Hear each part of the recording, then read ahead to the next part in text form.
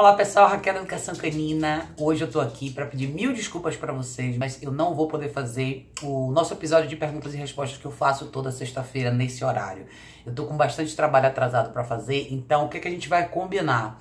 O mesmo post, a mesma postagem onde vocês colocam as perguntas de vocês, vai continuar valendo para a semana que vem, tanto no Instagram quanto no Facebook. Então podem deixar suas perguntas ali e sexta-feira que vem a gente volta com o nosso programa de perguntas e respostas por aqui, tá bom, pessoal?